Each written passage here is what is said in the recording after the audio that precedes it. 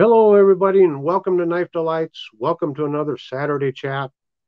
This is such a fun series for me to do. I get to talk to a lot of great uh, people behind the knife channels out there, and today is no exception. I have a wonderful guest, uh, Ken from Last Chance Knives. Uh, he did a two for Tuesday video here just a few weeks back, and uh, maybe we'll talk about that just a little bit and, and the importance of uh, participating in the open tags. But because he did participate in that, his video showed up into my feed and I watched it. And maybe we're going to discuss that video just a little bit. But I was sure glad, glad to come across his channel. It's an exciting channel.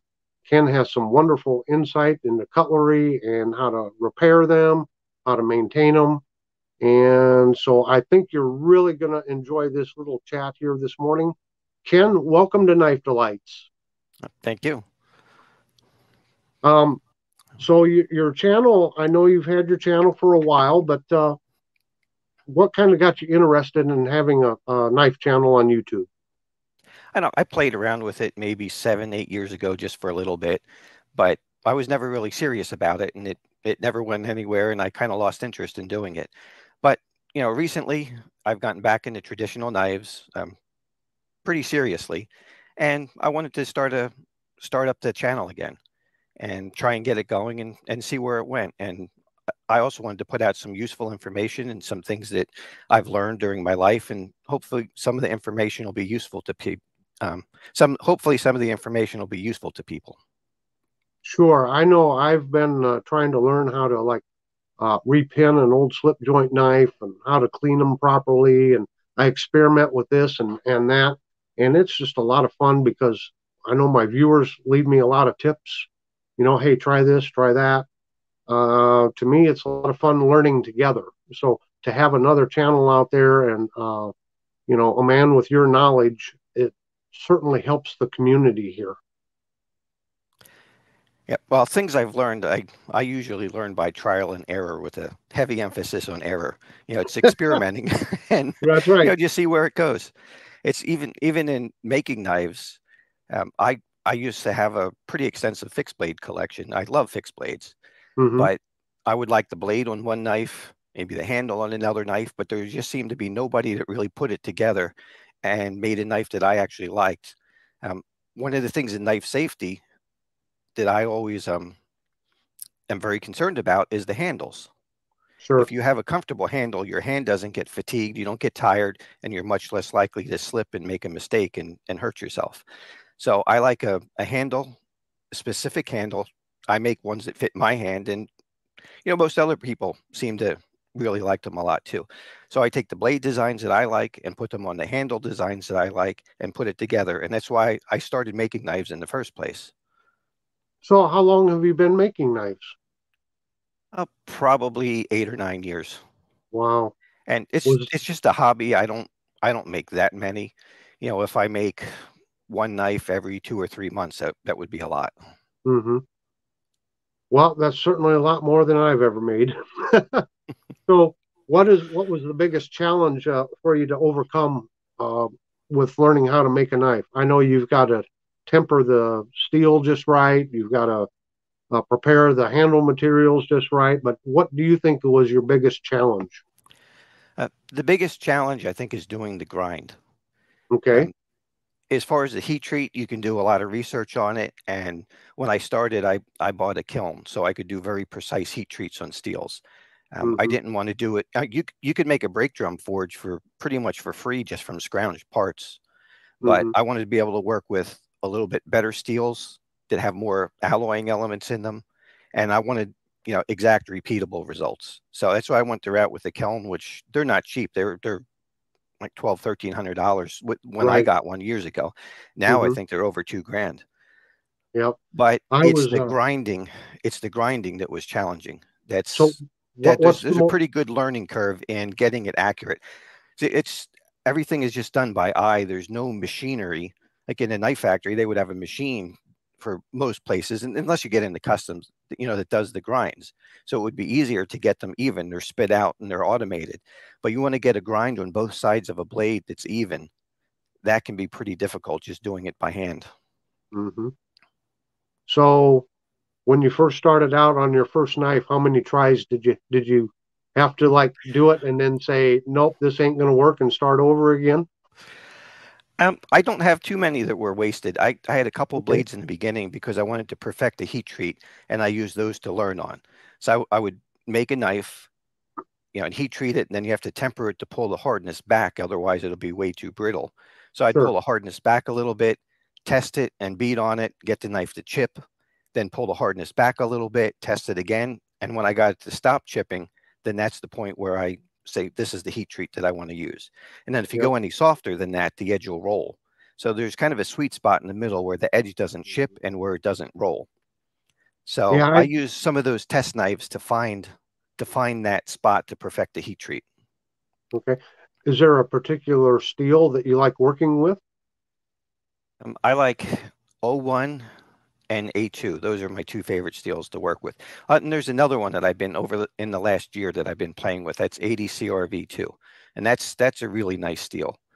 That has, I'm going to say, a little bit better edge retention than 1095, but its toughness is about comparable to 3V. Hmm. It's a lot tougher than 1095 or O1. So it's it's a really good steel, especially for a, a fixed blade that might see some rough use. Right. Now, I'm just going from what I've heard from others and read. Um, sometimes it seems like it's not so much when, when you buy a knife from a you know commercially produced knife. It's not so much the blade steel, but how well they tempered the steel and treated the steel. Would you agree with that? Uh, yeah, there's a lot of variation. Now, I I have a couple blades here that I'm. Oh, here. This is. I'm going to pull you up. Let me pull you up on full screen okay. so we can see it good here. Okay, okay, this is one that's still in the process of being made. I didn't make a handle for it yet, but this is an 80CrV2. It's just okay. a small belt knife, and I would put this in the class as a get off me knife. Yeah, every every edge will be sharpened. So I'll show this again when it's finished. It'll it'll oh, look quite a bit great. different than this. But as you can see with the with the grinds and how you get the different you know the facets as you come out to the tip to get everything even is it takes a little bit of work doing that by eye. Sure. Now I was uh, formerly a peace officer, so I carried the Ka-Bar TDI, and mm-hmm. so I know exactly what you mean by a get off me knife. Yeah, so that that's interesting. But this one I also tried to make as something that's uh, that's useful for everyday carry. It you have a thumb ramp. You have you have a you know a very convenient way to hold it, where it's not dangerous to yourself, even though it'll be sharpened on all edges. Mm-hmm.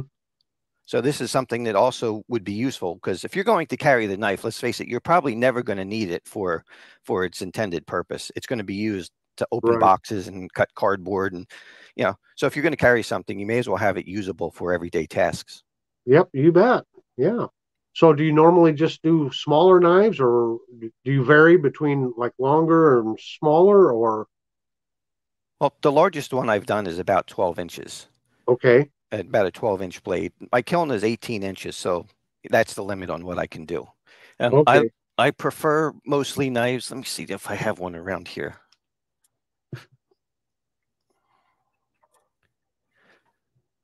Here's one I'll show on a on a fixed blade Friday. I, I actually recorded the video. I might show it on this Friday. So this is a you know four and a half inch blade. This is about the size knife that I I like most often because I get the most use out of them. You can carry sure. them. So,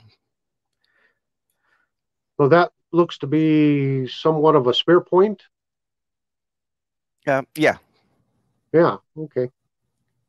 So do it's you have a, continuous curve on the does. blade? Yeah. So when you're when you're cutting with a continuous curve, it's always doing a shearing action. It it cuts differently than a straight blade. Right. It's yeah. it's a little bit more aggressive, and the this handle on this is a desert ironwood burl. I don't know how oh, good the camera is going to pick this up, but it's coming yeah, it is really a, well. Yeah, it is a very nice piece of wood. It's a special piece of wood, and I saved it for a for a project that it was worthy of. That that's a gorgeous knife. Now, when it comes, I've been thinking about buying some knife blanks and just practicing making some handles in that. My my question for you is, like, if I um, you know, we have walnut trees and oak trees here. If I was to go out and pick up a fresh piece of a branch of walnut or oak, what do I have to do to that wood? Do I have to like somehow kiln dry it or you know dry it out in the oven some or what do you do to it's help preserve I, the wood? Mm-hmm. I'll buy wood that's already dried and okay. is ready for use. You know, I'll, you can go online and buy it in small, you know, small pieces that are sized for knife handles. Mm-hmm. But if you're going going to do it yourself, you're going to want to let that wood stabilize probably for a couple of years. Okay. Because if you you epoxy and pin it onto the blank, but if that wood isn't isn't um if if it shrinks because it has a higher moisture content, mm-hmm. it's going to pop the epoxy and your handle is going to pop. Now, okay. walnut I know is a problem. I've done I've done two knives in walnut handles. And both of those handles have popped off the metal after a couple of years. Hmm. Because so just takes were, so long for it to dry out.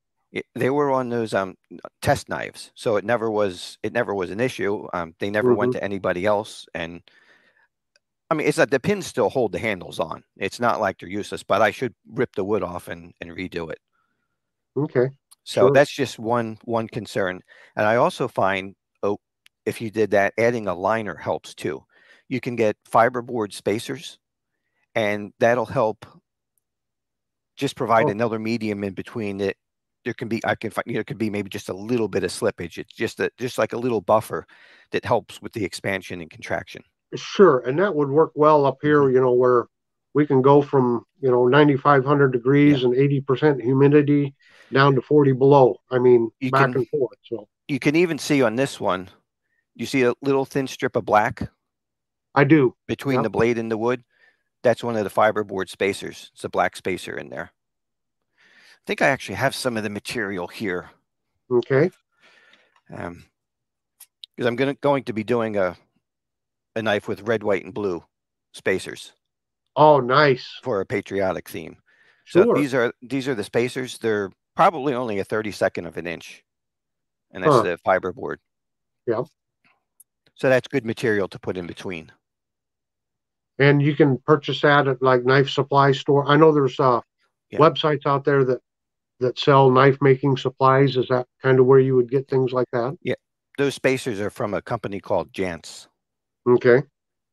Okay. I so I'll just remind I'll just remind everybody here if you have a question on um, making a knife or that, leave a comment below, and I'm sure Ken would be more than happy to try to help you out or answer your question. Or if it if it's uh, maybe significant enough, maybe he'll do a video on it. So I, I encourage everybody to uh, please like this video and leave a comment there.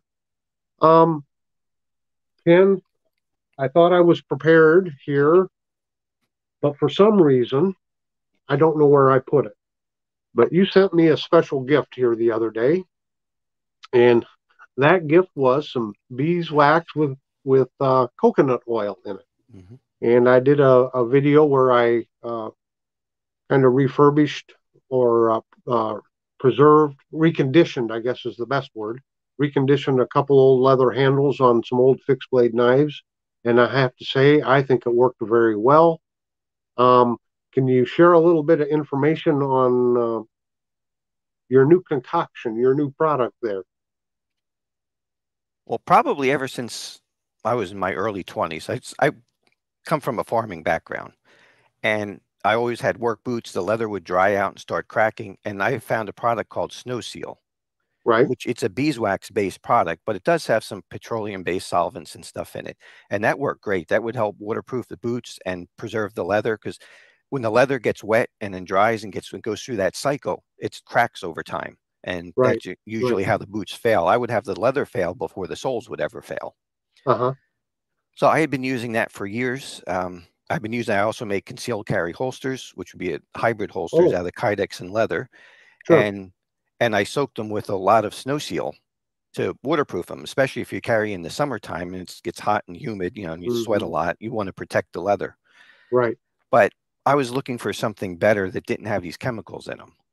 Mm-hmm. So, and I couldn't find anything that I really liked. And they don't, they either don't list the ingredients on the product or you have to do searching on the web to find what's really in it. They may list just the, the main active ingredients, but they don't list all mm-hmm. the solvents and all the other garbage that they put in it. Yeah. So I wanted to come up with something that was more of a universal product. You can you can use it on leather, like I said, on your carbon steel, Mm-hmm. And especially if you use carbon steel knives and then, then you go use them in the kitchen or you put some on to keep them from rusting on a camping trip and you use them to cut food. I don't want things with chemicals on it. Right. I want right. everything that I put in it, I want to be food safe. Mm-hmm. So yeah, it, that's what all... led me to come up with this. And you could just do some research on the internet, and you'll find there's there's tons of stuff, tons of information on natural products like this using, you know, beeswax and coconut oil. And I do want to make one more addition to it. I want to put in a little bit of olive oil. Olive oil is also good for softening skin, and leather is just skin. It, it helps soften the leather too. Yeah, yeah. I, I was uh, glad to hear you uh, saying you wanted to try some olive oil because I know some of my viewers in the past, um, like for outdoor leather stuff like uh, tool pouches and that, they always said that they would use olive oil and rub into it, and that helped preserve it very well. So. Yeah um, I guess when I first was doing research on how to, you know, best to preserve leather and this and that, it seemed like every product out there had a downside to it. So it was like, well, it's great for this, this, and this, but watch out for this, you know. so you're just like you're left scratching your head of what am I supposed to use?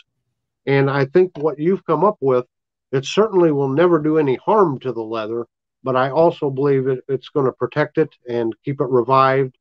Um, and so I want to thank you so much for sending me that gift. I will be using it a lot. And it's nice because, as you said, just the heat from your hand, that's all you need. Just rub that uh, little cube a little bit and then rub it on the leather or on the blade. And it's safe for your hands. So it's just a wonderful product. So thanks again. Yeah. I'll also rub it on um, rub it on my lips in the wintertime after I use that would it because your lips yeah. get dry. So it's you can use it for a lot of things. And there's also some other tricks you can do to help it absorb into the leather better. Just right. throw it on the dashboard of your car for 20 minutes. Mm-hmm. You know, and that'll that'll heat up the leather and then yep. it'll soak in a lot better. And you can also use a heat gun or a hair dryer, but you have to be careful. Leather is skin.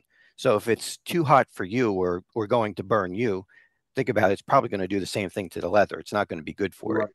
So you right. want to use a gentle heat. So I'll, I'll, use you know a heat gun or a hair dryer at a little bit of distance. Sure. And you know you can warm your leather up and and then it'll soak in better when you apply it. And then there's also another another trick that I've done with it. If you apply it onto the leather fairly heavy and then get the heat gun and and hit it, you have to watch how you do it because you don't want to get it too hot. It's mm-hmm. almost like it it kind of I don't know. It does something to the wax, and it it gets a dark color. So you can you can affect the the coloring of the leather by how you mm-hmm. apply heat to it. Yeah. And that, that's more how it how the beeswax and the and the coconut oil are reacting. It's you're not you, you don't want to heat it to where you burn the leather, obviously, but right. Yeah, any kind of warming you can use. I was thinking of uh, a heat lamp where I could reg- kind of regulate mm-hmm. the heat, raising and lowering the heat lamp it doesn't take a lot of heat, but just getting it warm, you know, it's just like trying to dissolve salt or sugar in water. If the water's warm, it dissolves better. And it's a, kind of the same principle with this. Yeah. It's going to apply more evenly and probably soak in a little better. So, no, I thought that was very interesting that you came up with that. Um, I also know in watching some of your videos, you've had like some case knives. And like the centering was off on them and you kind of demonstrated on how you got that blade centered back in there. I thought that was pretty ingenious. Uh, can you talk about that just a little bit? Well that was an, that was an experiment. I'm not sure if i would recommend exactly what i did to them but that, experimental or not it, yeah. it, worked and it's just yeah. interesting for me watching your thought process and how you explained it so yeah yeah i considered it you know, one of the things before I do stuff like that, I consider the knife almost as trash before that, that it's so mm-hmm. far off, it's rubbing the liner. And I don't know, I just don't want to carry a knife like that. There is a there is a certain pride in in carrying a knife that's functioning properly. Right. And if somebody else wants to see it, and if there's somebody else that was interested in traditional knife and they pick it up and they see the blades are rubbing and everything, it's all scratched, you know, that just is doesn't make a good impression on getting somebody else into traditional knives. So right. I, the knives that I carry, I like to be right. At least in a case, I don't expect them to be perfect, but I don't want them to be rubbing the liners. Yeah. You know, on a knife like a Stockman, you are going to have some blade rub because you're you're cramming three blades into mm-hmm. you know mm-hmm. two spaces, so there is yeah. going to be some interference. So I just figured, why not? I'll do what I can. I I had heard that, and if you, I had heard that maybe towards the base the knives were a little bit softer, and if you think about it, they have to heat them up and then quench them in oil. Mm-hmm. So when they're quenched in oil, I I would say by the by the end of the blade, they're probably held by a rod through the hole that's drilled in it, and when they're dipped in oil, well, if they're if that part isn't submerged, that part's going to be a little bit softer. I don't know if it's the case. This is just something I heard online, so I figure I'll give it a try. Yep. And it did take more force than I than I really felt comfortable with to straighten mm-hmm. that blade out. So yeah. that may not be the case. Um, now, on well, the other hand, I have this queen knife here. Okay, now, let this, me bring you up again knife, here. You may even be able to see it in the camera here. Let me see if I can get this where. Yeah, maybe you can't pick it up in the camera. The blade's not straight with the knife. It oh is, yeah, I, I, see that. I see it. Yep. Okay. I see that. Yep. It was more crooked than that. It was it was rubbing the liner on this side pretty hard to where it was even hard to close the knife. You'd have to push the blade in a little bit to close it. I just I opened this up. I just took it in my hands like this and gave a little bend. And that night that I actually bent it too far. I had to bend it backwards a little bit after I was done. Hmm. So to me, on this queen, it, I mean, it's a pretty knife, but the heat treat is really questionable. You should not be able to bend the blade in your fingers. Sure. Yeah, sure. it tells me that steel has to be really soft. Yeah. I won't know until I sharpen it and I, I try it and see what the edge retention is, but I don't expect much out of that. And right. it's a cheap knife and it's the origin is China. So what do you expect? It's going to really be hit and miss. Yeah, it is. Um, so yeah, I kind of follow your philosophy. The the liner locks that I have taken apart. I mean, a lot of them are like two or three dollar knives I found in an antique store, and it's like I can't hurt this knife because it's not a usable knife or it's not a good knife in the condition it's in. If I totally ruin things, you know, break something on it, lose pieces from it, whatever, I'm not out anything. And I got a few hours entertainment playing with it, right? Pretty cheap yeah. entertainment mm-hmm. the way I look at it. Yeah, before you start doing something like this, you already have to consider the knife is is kind of almost yeah. as I can't hurt it. Like you said, it's it's trash. I'm not going to carry it. So there's no loss in experimenting with it and trying to make something usable out of it. I've I've tried repinning two or three knives with limited success. That's just something I'm going to have to keep practicing on. There there's definitely an art.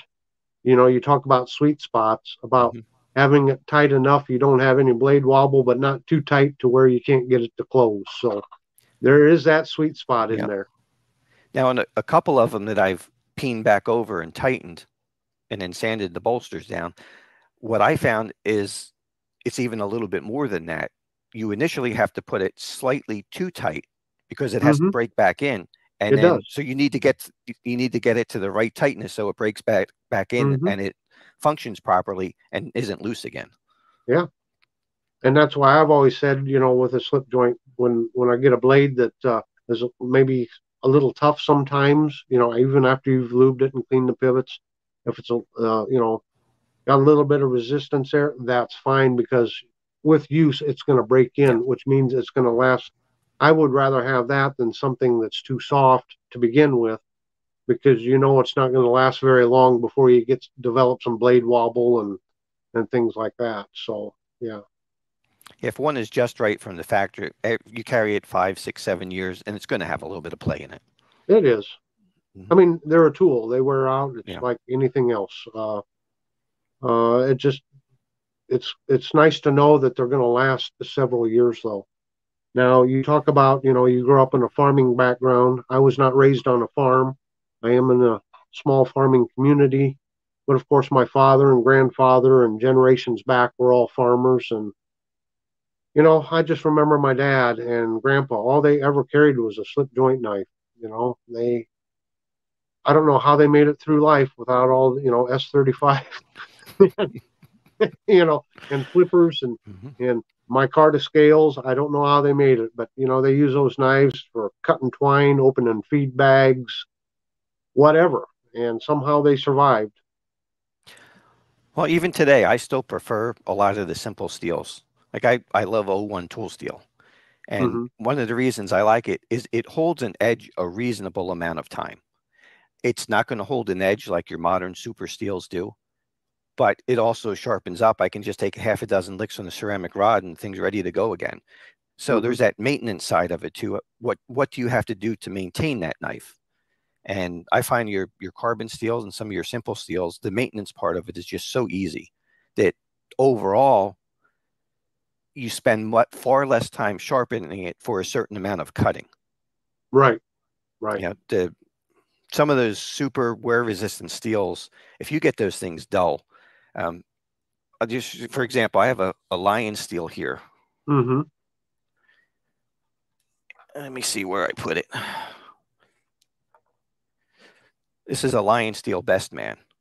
And I reprofiled this because I like a, a, much lower edge angle. You can see the bevel is quite wide. Mm-hmm. And this is an M390. And this this blade took me about 45 minutes to reprofile on a, I think it's a 220 grit DMT diamond stone. So in O1 knife, I, I'd almost remove the whole blade doing that for that amount of time. Sure. So there's that aspect of it. And how easy is the thing to maintain? If you have to work on it, how much time does it take you to work on it?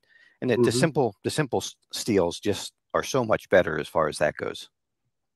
I've always been uh, in the camp of with like a survival knife. I would rather have a softer steel, uh, you know, like a 420 HC.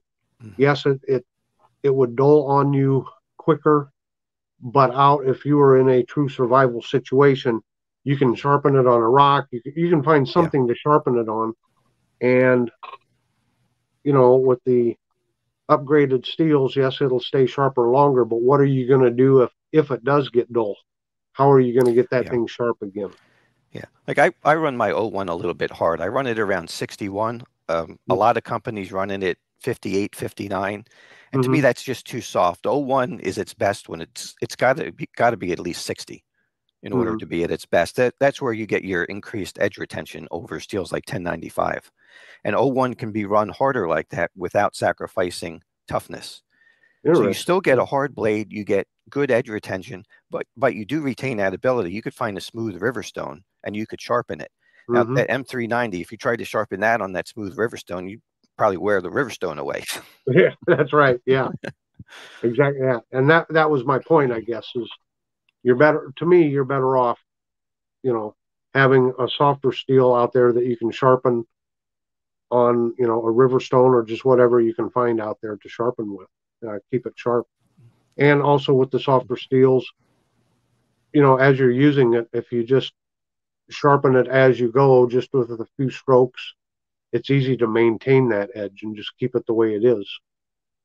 I know uh, growing up as a kid, uh, the old man that lived close by uh, ran a quite extensive trap line every winter, and I was fortunate enough to go out and help him run his trap line and, and help him skin, you know, afterwards.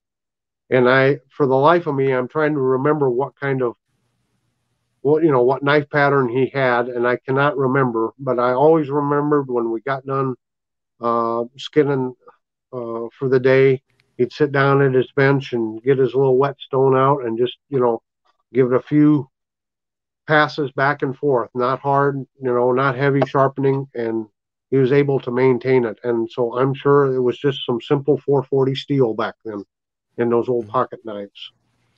Which so, actually worked pretty good. It did. It so. did. And that, that knife was always sharp. Yeah. You know, years ago, we didn't know any better. We didn't, this other stuff didn't, that we have today, it didn't exist yet. And well, yeah. we didn't know we were missing anything. And actually, I, I, th- I think in some ways it's a, it's a few steps backwards. You have the cost because the cost of some of this stuff is huge. Yes. And then you have the maintenance. Like I yep. said, I, my my preferred sharpening method or maintenance is ceramic. Mm-hmm. And what I like about ceramic is that you maintain a toothy edge. If you go too far on the strop, I mean, you could do a little bit of stropping to get rid of a burr, you know, to help clean just clean up the edge. But if you do too much stropping and you polish the thing, you have a different type of edge, which I don't like. So I like to maintain the toothiness and the bite on the edge, and I find ceramic does that. And I can just do a couple licks on ceramic, and there's there's two there's two specific ones that I like a lot. I like the Spyderco bench stones, or for portable use, they have a one that's called Double Stuff, which is the same gray and white ceramic as their bench stones. Uh-huh. And then Lansky makes a it's like a 10 or 12 dollar ceramic rod it looks like a butcher steel it's got a wood handle on it mm-hmm. and that works great too yeah those are that's how i like to maintain and, and keep them honed and it, it usually doesn't take more than like i said you know half a dozen to a dozen licks on that and depending on how much you've used it and it's right back ready to go again well and personally you know i'm bad about this but if we would kind of all get in the habit of like you said, with a ceramic rod, when you're done using your knife, give it a couple passes on your rod and keep it sharp. I just, I just, uh, you watch the old movies and you see the barber, and before he goes to use a straight edge, got that strop there, you know, just uh, gives it a few swipes to keep it sharp. If we would all remember to do that, then we don't have to worry about sharpening so much because we're keeping it honed up as we go. Mm-hmm. But I get lazy. I got to admit it. we all do sometimes, and that's why I, I like the carbon steels because it makes it easy. You know, yep, it makes it easy to do that maintenance. You don't have to say, "I now I got to sit down for 20 minutes and work on this edge." Now I pick it up in you know 30 seconds. I'm done. Yep. Uh, and I've told this story before, but I asked my father if he had any of his old pocket knives. You know, once I became a collector and and started really getting into the knives here five, six years ago. And he said, no, he said, they were cheap. We used them up and threw them away. so I, I just remember, and this is a sacrilege, but I know he sharpened his knives on the bench grinder. I mean, it would be dull. He'd go over to the bench grinder, you know, a little bit and, and go back to cutting. And like the philosophy, and they were, they were cheap, you know and uh, they didn't worry about fit and finish. They didn't. They had something to cut, and they wanted to cut. That's all they cared about. Yep. So, well, if it's a tool and you're going to use it hard, and you may even do some prying and stuff with it. Then that's the right right way to go. Yeah. Don't bring something expensive out that you're afraid to use. Exactly. Yeah. If he broke it, if he was, uh, uh, you know, cutting heater hose or he was scraping a gasket off of something or whatever, and he broke it, no big deal. As you said, they were cheap. Okay. Can you excuse me for just one second? I have somebody knocking on my door. I'll just. That's not a problem. Okay. Um, can I come see you in a little while? Because I'm on a I'm on a conference call. Okay. Mm-hmm. okay. Nope, no problem. That happens. So, um, before I forget, okay, what you were saying, you were saying, oh, about bench grinder. So I'll oh, use oh, yeah. a, an angle grinder for things like machetes mm-hmm. or or even for example something like an axe i keep a rough use axe if i have to get a tree stump out or something like that i don't care if mm. i hit rocks and you know stones and yeah. i don't care what i hit and i just i keep that tuned up with an angle grinder sure so there are depending on the use of the tool and that's only a $15 you know harbor freight axe or something like that you know it's, it's yeah. a cheap it's a cheap axe for rough mm-hmm. use i have fine axes for if I'm going to split firewood or if I was going to take on a camping trip, I have, you know, better stuff and I, I won't treat it like that. Right. So you have the right tool for the right job and for the abuse stuff, you know, sharpen it the quick way. Yep, absolutely. Yeah. So it just so happens that I won a Leatherman signal from CB Tactical. And uh, I've had it for five or six months now, I believe and uh, he was on RJ's live the other day, or left a comment on RJ's live the other day, and I it it jarred my memory. I'm like, you know, CB, I need to I need to get this reviewed for you. So the other day, I kind of did a just a tabletop review, and then I wanted to uh, do a part two to that video and actually go out and use it. Now, the reason I bring this signal up is because I ran across a very interesting video of yours from several years ago where you actually replaced the blade on your signalman. And let me just pull this up here real quick. Well, there's the blade. It's 420 HC, but it's got serrations on it. And you are in the camp that you do not like serrations, especially on like a Leatherman. Is that a correct statement? Yes, it is. Okay. Now, the one the one time I don't mind serrations is say you have a multi-tool with two blades on it, and the second blade is a serrated blade. In that sure. case, give me a full serrated blade, and and I'll be happy with that. But as a secondary blade, not as a primary. Right. For most right. things, I just don't like the way they cut. Um, try making some feather sticks with those serrations. You know, if, yeah, if you're going to start a fire, they give you on the Leatherman, they give you a, a small fire steel on it. So try yep. making feathers and stuff with the, with the serrations. It doesn't work. You have to use the tip of the blade where it's where you have a small straight section, mm-hmm. but then you mm-hmm. have leverage working against you. It's easier to use it in close to the handle when you're doing stuff. It's Absolutely. it's less fatiguing, less torque on your wrist, and you just have more control over it. Yeah. So um, I'll probably put a link to that video uh, in the description box to this one, and I'll I'll just invite everybody to go check that video out. That was interesting. Uh, like you said, uh, I, if I remember in the video, you know, you're talking about trial and error how you got the blade shaped and then it didn't wouldn't quite fit and you had to take it back out and and do some more profiling on the blade shape and that. So very interesting. I i have a great admiration for craftsmen and people that are able to visualize something and then and then make it and do it and have the perseverance to stay on it. So uh, a tip of the hat there to you Ken. Thanks. I've probably made about a dozen of those blades now. And those things are a pain to make. There's so many things that you have to get right on the on the fit. So many you know. Yeah. I would i would imagine making a blade for a folding knife is more difficult than like a fixed blade knife which you know you're worried about the pivot and and uh, even as far as making sure that the hole you drill in the end is in the precise middle of the blade you know there's got there's got to be a lot to it. Well i look at it i know i'm going to make some errors so if you know you're going to make errors, because we're humans, we're not machines, we can't do mm-hmm. everything perfectly, make the errors on the side that you can correct. So yep. make the error on purpose in a way that you can deal with it. Absolutely. So I'll drill the hole first, then I'll start shaping the rest of the blade so, so, that I can get the lock right and then how it works on the ball detent and the stop Excuse when me it opens. For just one moment. Mm-hmm. Excuse me, Ken.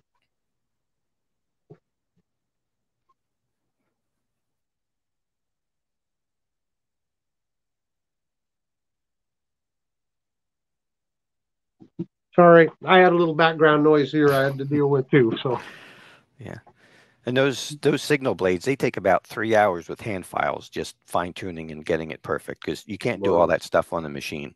At least I can't. Well, that's why I said perseverance because you you you get really got to concentrate on your task and so.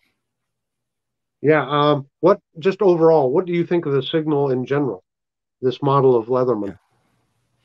I mean, I do like the tool. I mean, it's a it is a little bit gimmicky, but overall, it is a good, solid tool. They have good tool choices in it, and it's pretty strong and pretty robust. It does, I think, it does make a good multi-tool if you're going to take it outdoors.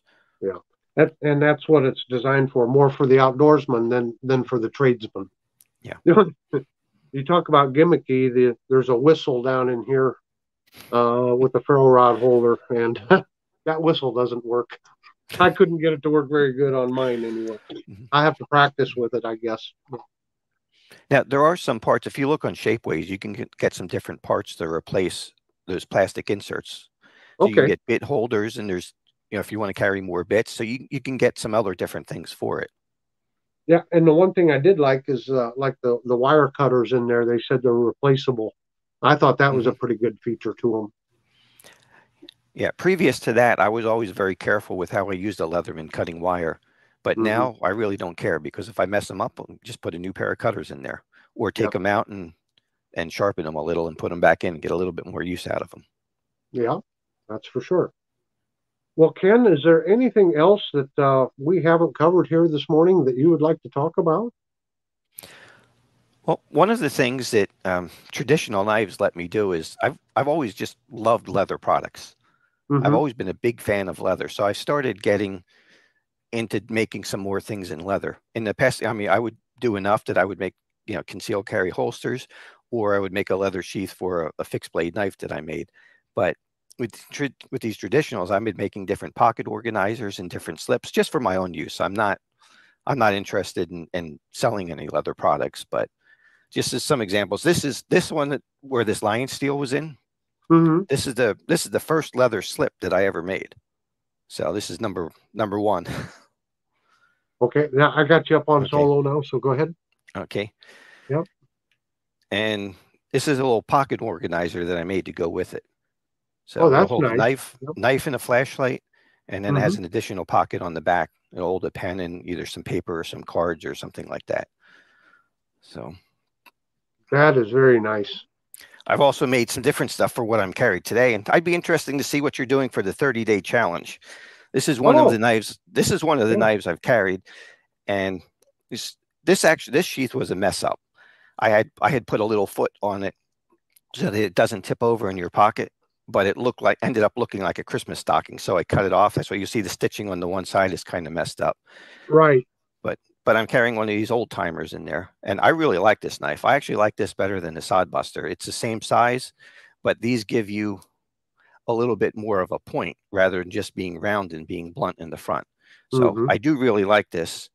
And I saw some of the things that Richter was doing. So I gave it a I gave it a try just for Oh yeah. Let me see if I can get this in here. I mean, I would never sell something like this, or, or I'm not going to copy somebody else's product. I just made this for myself. Right. Right. And I wanted to see if I could do it. And I made a another one which is a little is a little different. I have still have to put some dye on this and, and finish it, but this is a larger one for a larger knife. This one will actually swallow up um, a, a full size sodbuster because this is something that I don't see, you know, from any of these any of these guys that are making leather. There's a lot of these slips are for small knives, but I haven't seen any for a large knife. So what I tried to do on this one is a is a pattern that is going to resemble checkering on the gun stock. Oh yeah, this is what I what I went for with this. But I've got to do something to highlight some of the lines, and so you can see it a little bit better as checkering. Yeah, yeah. So, well, I'll show you what I've been carrying for my 30 day challenge, and I will say, in a way, it's not a lot of challenge for me because my one my number one knife that I always carry is my uh, Victorinox Evo Grip 11. I always have this is the first knife that goes in my pocket every day, so I always have this one. And then it's just a matter of what am I going to choose as a secondary knife. So, since we're talking leather and slips, I've got this little slip here that was made by JO Ventures Outdoors. Mm-hmm. Uh, it was a gift to me, and he also sent me this uh, little old timer Mighty Mite. So this last week, uh, that's what I've been carrying the little Mighty Mite. And of course, this one is a liner lock. Um, the week or week and a half prior to that, um, I was wearing uh, carrying my buck canoe, and I have actually carried this knife a lot as as a everyday carry. I, I love the canoe pattern. These blades are just awesome, and they've you know this knife's just never let me down. It's always been up to the task. So I like the canoe pattern. And then I first started out for the first week or week and a half, I have this old Ka-Bar Stockman. And of course, uh, a uh, medium medium sized Stockman is a very good carry. It's big enough, you know, the blades are usually big enough to, to get things done that you need done. You got three blade choices. But then with a medium stockman, it doesn't weigh down your pocket very very much. Doesn't take up a lot of real estate. So yeah, that's just an old K bar from with uh, Jig Delrin. So that's what that's I've been area, carrying. I think it's one area where the slips help. It it does make the knives a lot more comfortable to carry. You don't have just a doesn't feel like you're carrying just something in your pocket that twists sideways or sticks you in the wrong way. It just mm-hmm. it makes all the surfaces smooth and it, it stays upright in your pocket pretty good. Yep. And I find it just it makes a heavier knife more comfortable to carry. Now, what I've been carrying, and this is this is one of my favorites, is a large Stockman. Oh, sure. Yeah, I liked it. This one is um this one is labeled. I think it, when I got it, it was labeled as chrome vanadium, but the stamp on the blade is CS. So I don't I don't know what some of these case ones mean. I know it's it's definitely carbon steel. Yeah. You can see a lot of color on the blade, but you know, they kind of keep things a mystery. You don't know exactly what it is. But what I like about these large Stockmans is you have a, a knife that makes a good handle. You know, it's you can get a good grip on it. And if you're doing mm-hmm. doing a lot of cutting, you don't get tired or your hand doesn't get fatigued. Plus, you have a large blade, so you have a large knife, and then the other blades are small, so you still have two small blades for doing precise work where you don't have have to have that long blade out there. So these Absolutely. have just been ideal. This this has been my favorite knife to carry. So I use I've been carrying that. Um, on one of those case makes a cheap uh, belt sheath. It's kind mm-hmm. of a mm-hmm. scout carry, and the large one is only yeah. 10 bucks, and it actually carries these things great. Then I've been putting this old timer in this slip in my right front pocket. And then the other thing I've been carrying, which I always carry this, I always I always have a Leatherman on me. Oh, okay. And sure. Just because of the work I do, I have to have a multi-tool. It's yeah. I use it constantly throughout the day. And I, like don't, I, I don't necessarily carry one every day. As a matter of fact, I I, I guess it, I hardly ever carry one. I always have one handy in my vehicles, or I have several of them, kind of strategically placed in case I need one. I don't have the use for one, you know, every day, so I don't actually carry it. But I always have one handy, and uh, they're they're definitely very useful to have around. Yeah, I do um IT. I'm the IT guy for a small college, so I'm constantly sure. working with wire and stuff, and I also do all their their sound and lighting. So the multi-tool is just something that oh. I can't get by without having. I'd have to constantly be running, making trips back to a toolbox. Yep. So yep. just having that with me lets me fix something on the spot when I find it. Sure. No, I I can totally understand why you'd you'd uh, carry one like that. Now you you bring up Stockman's so just for the viewers, if, if you want to um, excuse the children from the room because it, it might get, uh, well, this show might, this little chat might take a turn for the worse because the reason or the way I discovered Ken was he participated in a two for Tuesday open tag. And he was going over a couple of the Buck Stockmans, which was fine. But he was, uh, well, then he brought out a case knife and he described on why he preferred to carry his case Stockman over the buck. Now, for most of you, you know, I am a, I'm, what do you want to call it? A buck fanboy? Is that what you want to call it? And so, you know, my first human reaction is, well, hey, wait a minute. You're talking about my buck knives here but it made me sit up and notice and I, and I want to thank you so much for the way you presented that and you gave your logic you gave your reasoning and nobody can argue with something like that the way you presented that and I, I just again a lot of respect for you on how you did that presentation and it gives gave me a reminder and I'll remind everybody that uh, you know, sometimes we settle on a particular knife brand or any other product, a, a, particular brand, and we like it, so everyone else must like it. And you can't talk about my brand because I like it, so you have to like it. And so it really made me sit up and take notice and reevaluate what I'm doing with my buck knives. It makes me look at them in a different uh, venue or a different frame of mind and also my case knives that I do have. And so I want to thank you for that video. It was it was uh, done very well. Um, would you like to talk a little bit about why you prefer your case knives over your buck knives? I would like to say I do like buck knives. Buck does make a lot of good stuff. I don't know who makes those Stockmans for a Buck. They the ones I did the review on were the ones that are USA made. Mm-hmm. But depends on who makes them, and the, the quality can vary. You know, between the individual maker or the individual plant that they're made in. Mm-hmm. So, like any other of these knife companies, they have some stuff that are hits and some stuff that are misses. Mm-hmm. Um, case, I've just I've liked their heat treat. I like that I can get them in a carbon steel. Most of the other ones are stainless, you know, mm-hmm. unless you go higher end and you spend more money. So for a reasonable price, you get a decent knife. And if you buy them in a store, you can check your blade centering and make sure they don't rub. Now, there's some things you can't find in this store. Like I've, I've got a couple of the ones from uh, Smoky Mountain Knife Works that are in 1095 steel. You can't find any of that kind of stuff locally. So you just have to get it and take a chance and see what you have. And if it's bad, send it back. Yeah. So yeah. I just, I like the flexibility of a Stockman. You have, I think of the sheep's foot blade as what would you use a utility knife for? Right. And that's any, anything you would use a utility knife for. The spade right. blade, if you carry a sod buster, you, you have a very similar type belly to it. So anything that you would do with the belly, you have that spade blade for. And then you have yep. the clip point blade, which I tend to keep clean because I like mm-hmm. to use that for food or or if I need something that's pointy, if I need to pierce something to get to start something, you know, op- opening something up. Right.